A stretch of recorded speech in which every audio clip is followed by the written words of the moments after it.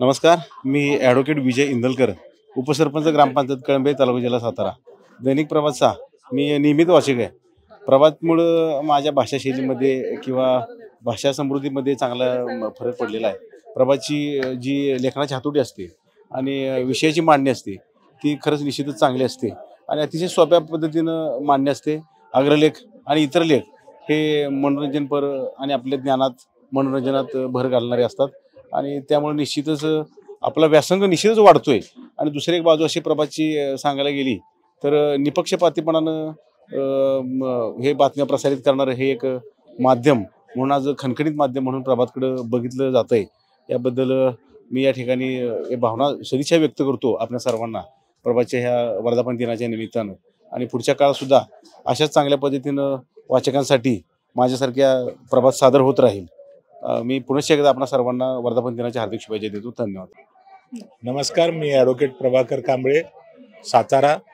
मी वकिली व्यवसायामध्ये सातारा जिल्ह्यामध्ये काम करतो. अगदी प्रभातच्या पहिल्या वर्षापासून मी सातारमध्ये प्रभातच्या सोबत आहे आणि मला आज वर्धापन दिनानिमित्त प्रथम मी हार्दिक शुभेच्छा व्यक्त करतो.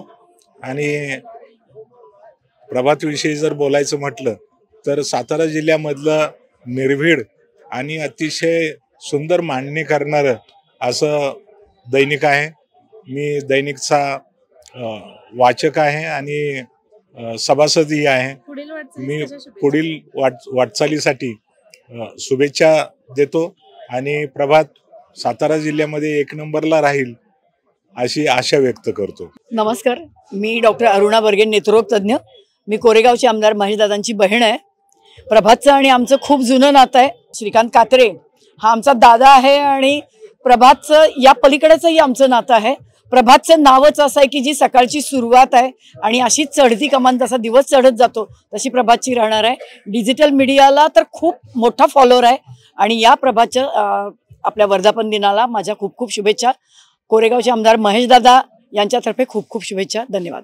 Good evening to you all दैनिक प्रभातचा वर्धापन दिन आहे आमच्या सातारा एडिशनचा. या निमित्तानं मी सगळ्यांना ब- शुभेच्छा व्यक्त करतो. ॲडव्हर्टायझिंगच्या क्षेत्रामध्ये मी आज जवळ पन्नास पंचावन्न वर्षे आहे. आणि ह्यामुळं माझ्या बहुतेक सगळ्या वर्तमानपत्राशी म्हणजे स्थानिकपासून ते ऑल इंडियापर्यंतचे संबंध आले. ब त्यामुळं प्रभातच्या बाबतीमध्ये मी एवढंच सांगेन की पुणे प्रभात आम्ही लहानपणापासून मी बघत आलो. आता सातारा एडिशन सुरू होऊन आता काही दिवस काही वर्ष होत आली. पण ह्या बाबतीमध्ये या स्पर्धेच्या युगामध्ये प्रभातनं जे स्वतःचं अस्तित्व जे टिकून ठेवलेलं आहे हे खरंच कौतुकास्पद आहे. म्हणजे मा मी एक ॲडव्हर्टायझर म्हणून म्हणा किंवा अलीकडच्या काळामध्ये ही जी माध्यमं बदलत गेली तर त्याच्या ह्या सगळ्या करताना सुद्धा प्रिंट मीडिया तर भवितव्य काय? ह्या बाबतीमध्ये मी लिहित असतो बोलत असतो काही आता हे हे काय ॲक्टिव्हिटीज चालू असतात. पण अशा ठिकाणी स्पर्धेच्या युगामध्ये प्रभातनं आपलं अस्तित्व जे दाखवलेलं आहे हे खरोखरच कौतुकास्पद आहे. आणि अशा या कौतुकास्पद वातावरणा म्हणजे बिहा- लोकांच्या सहवासात आज मला सगळ्यांशी हितगुज साधण्याची जी संधी मिळालेली आहे ती चांगली आहे. श्रीकांत कात्र्यांचं जे काही संपादकीय असतं किंवा त्यांचे जे काही ॲक्टिव्हिटीज चाललेल्या आहेत ह्या खरोखरच खूप चांगल्या आहेत. आणि त्यांचा आणि माझा खूप वर्षाचा परिचय आहे, स- सकाळमध्ये ते असल्यापासूनचा. आणि अशा या व्यक्तीच्या हातात सातारा शहराची आवृत्ती प्रभातनं दिलेली आहे हे खरंच कौतुकास्पद आहे. त्यांना आणि सर्वांना स्टाफला माझ्या मनपूर्वक शुभेच्छा.